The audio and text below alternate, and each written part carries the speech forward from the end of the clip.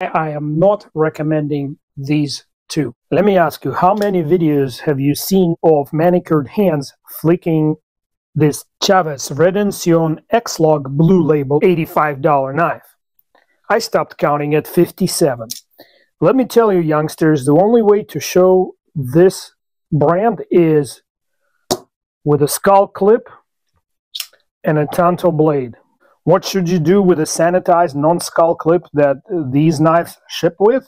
Give them away to your bug out friends because it does fit, but it will add 30% to the bug out's weight. Which ones should you choose? Which ones should you stay away?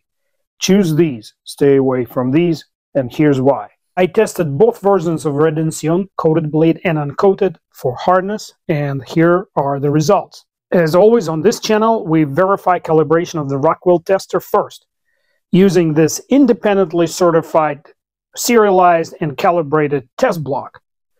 It's rated to be at 62 HRC, and the result is 62.2 HRC as it should be, starting with a Cerakoted blade, from which I removed said Cerakoting before testing for hardness. Just enough coating was removed to test the blade.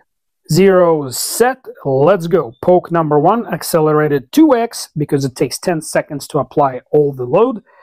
And the results are coming at 57.2 HRC. That's not good. 58.1 on the second poke. That's bare minimum for D2 steel. Let's see on the third poke.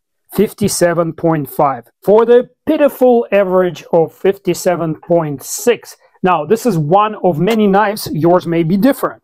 Here's the uncoated blade test. Here it is, thanks to my buddy who let me borrow his knife. This is going to be a popular knife. 60.8. We are now in the ideal range for the steel.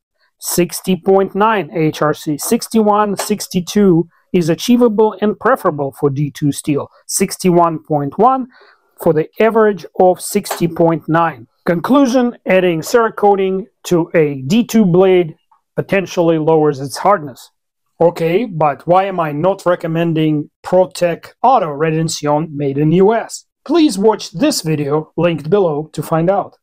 This is so not like Reate, I'm starting to doubt they actually made the knives. Maybe they farmed it out. This ProTech Redención is the flimsiest ProTech I've ever tested. This 229 Redención Blue Label is a fantastic knife, and so is the X-lock with uncoated blade. And that's why